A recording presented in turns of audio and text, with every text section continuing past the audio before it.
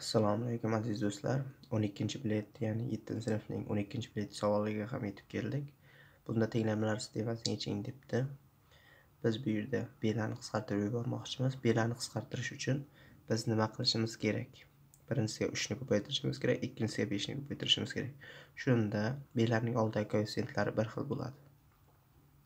3 ni ko'paytirsak 24 ta a minus 15 ta b teng 3 35 ta a 2 kere 5 plus 15 ta b teng.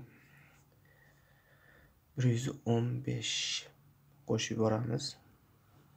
Qo'shib yuborganimizda bizda mana bela qisqarib ketadi. 15 minus 15 bilan b bilan plus 15 b. A alar nechta qoladi? 59 ta a qoladi. Teng 118 a amiz teng 2 tadan kelinglar birinchi tenglikka olib borib qo'yib yuboramiz a 8 ko'paytirib 2 16 minus 5 ta b teng 1 16 dan 1 narsa 15 minus 5 5 b bo'lib o'tib ketadi. O'ng tarafga b teng 5 ga bo'lsa ikkala tarafini ham 3 birinchi tenglamalar sistemasini eshitdik ikkinchi savolga o'tamiz. Javoblari a teng 2 b teng 3 ikkinchi savol bu sizlarga qiyinchilik tug'dirmaydi lekin tushuntirishni davom ettiraman chunki oramizda bilmaganlar ham bo'lishi mumkin. Bir butun oltining kvadrati minus ikki ko'paytirilgan bir butun olti ko'paytirilgan nol butun to'rt plyus nol butun to'rtning kvadrati bo'lingan bir butun to'rt minus nol butun ikkining kvadrati. Quyidagicha masala berilgan bizda mana bu masalani bizlar qanday qilib ishlashimiz kerak? Albatta birinchi surat qismi bir butun olti minus nol butun to'rtning qavs kvadrati. Bu aniq ravshan ko'rinib turibdi. A ikkinchi mahraji esa biror narsani aniq aytolmaganligimiz sababli shunchalik hisoblab qo'yamiz. Bir butun to'rt minus nol butun nol to'rt. Teng. Suratda bizda nima qoladi?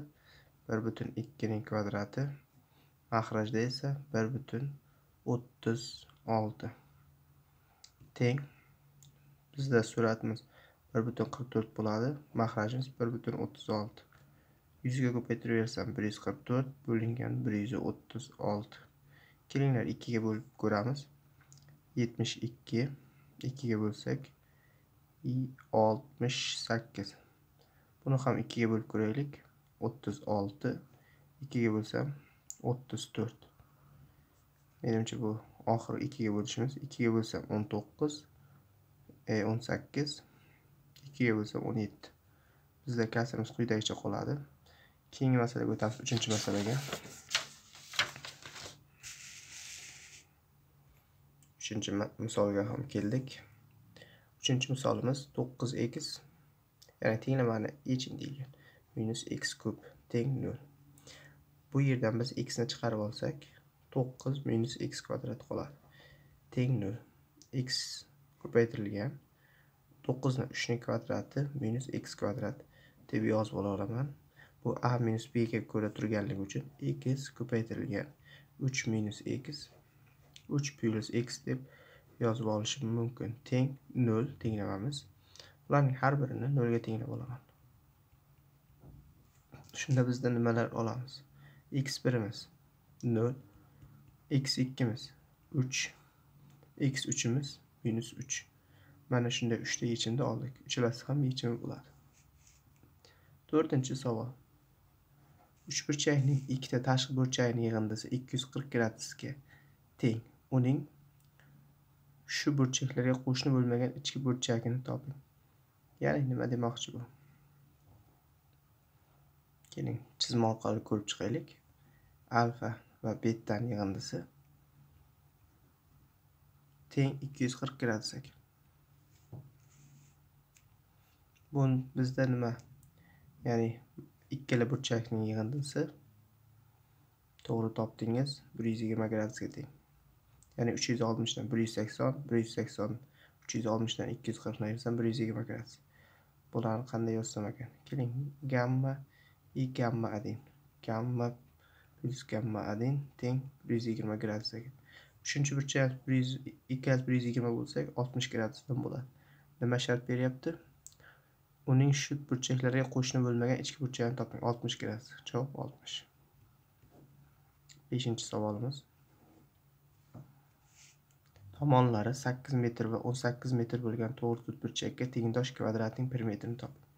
Tomonlari sakkiz metr bo'lsa va o'n sakkiz metr bo'lsa. o'n sakkiz metr. S teng o'n sakkizda sakkizni ko'paytirsam bir yuz qirq to'rt metr kvadrat. Ana endi shu shunga tengdosh bo'lgan kvadratning o'zi s teng a kvadrat ya'ni s bir. Teng bir yuz qirq to'rt. A teng o'n ikki metr. Sharti o'sha kvadratning perimetrini toping. Bu kvadratning perimetri p teng to'rtta a teng to'rt ko'paytirib o'n ikki teng qirq sakkiz metr. Javob p teng qirq sakkiz metr. Bu biletimizni ham o'z nihoyasiga yetkazamiz. Xayr salomat bo'linglar.